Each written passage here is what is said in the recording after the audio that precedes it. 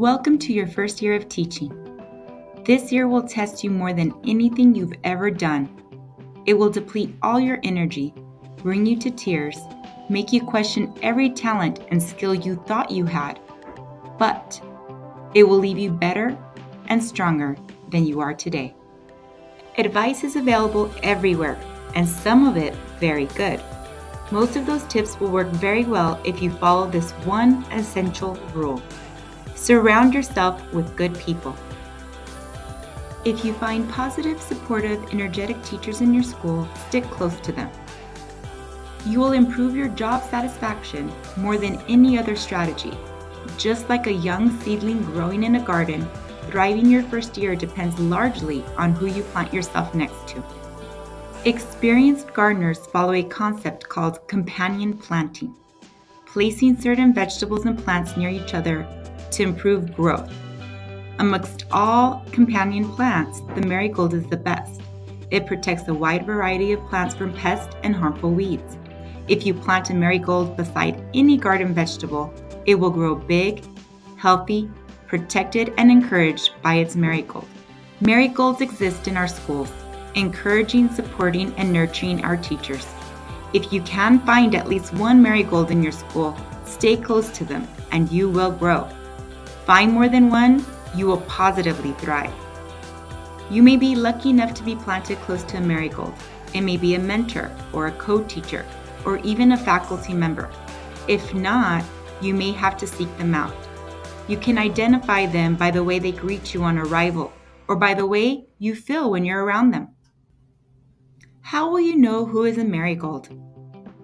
Are you calmer and helpful when you're around them?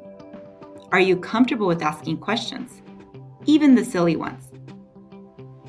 If you feel good around the person, chances are they have some marigold qualities. Once you have identified your marigolds, spend some time with them.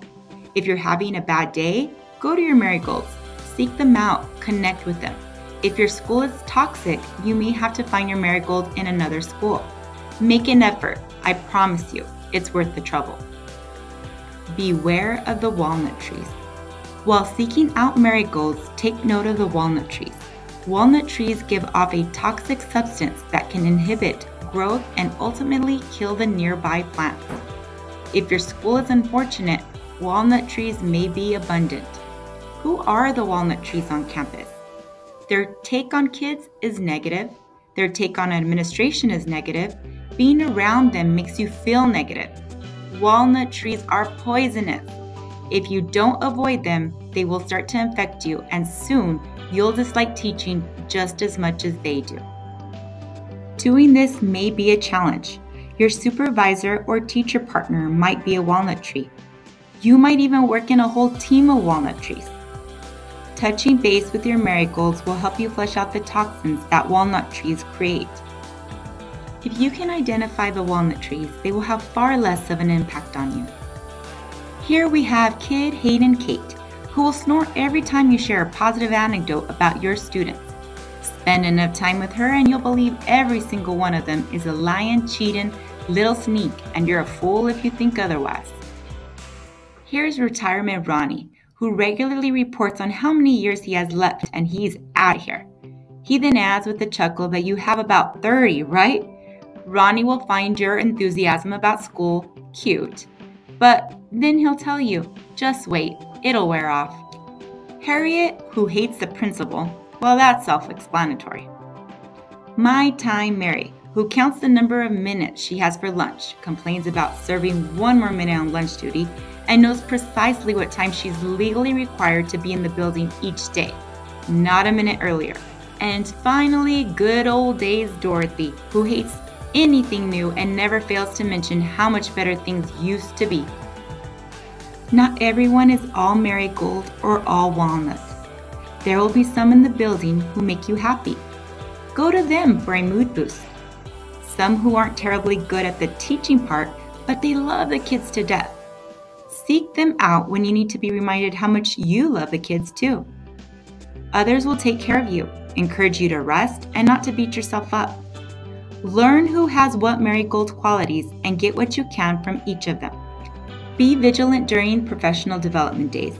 if you find yourself in a forest of walnut trees and the presenter asks to perform a task, the trees will slowly turn toward the center with negative comments dropping off their branches like walnuts whacking the table. It won't matter how interesting the activity might be, as soon as they huddle up, it will be nothing but whining. When this happens, recognize it. Hold tight to your roots and remember your marigolds. Try to find compassion for the walnut trees. Their toxicity comes from a place of real pain. They themselves have been influenced by other walnut trees who came before them. In reality, teaching is a ridiculously hard job. Some say almost as impossible as climbing Mount Everest. Even though you are aware of this difficulty, you have taken on this challenge. Now it is time for you to decide who would you rather climb this mountain with? Your first option is Mr. Walter Nutt, who starts by asking, Why in the world would you want to do something like this? Do you know how many have failed before you?